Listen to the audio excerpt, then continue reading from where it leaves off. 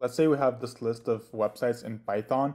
So we have apple.com, microsoft.com over here, and we want to check if the website ends with .com or something else. What we can do here is go through the list. So for website and websites, right?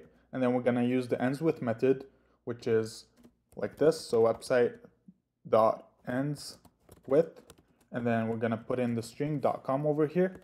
And then if that's the case, we're going to print the website itself and we're going to specify is a .com website like this, right?